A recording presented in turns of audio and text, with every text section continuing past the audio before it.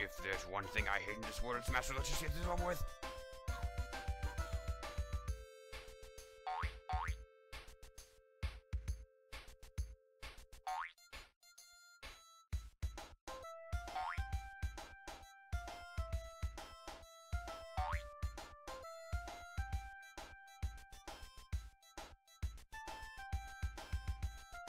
Done.